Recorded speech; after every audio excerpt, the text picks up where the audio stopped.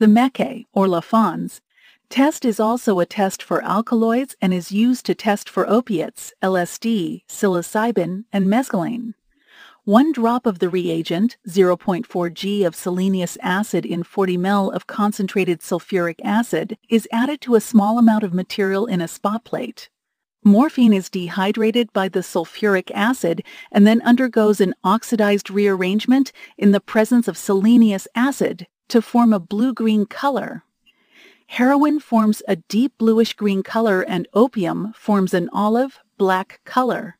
MDA hydrochloride and codeine form a dark bluish-green color. Mescaline hydrochloride and LSD form an olive and greenish black color, respectively.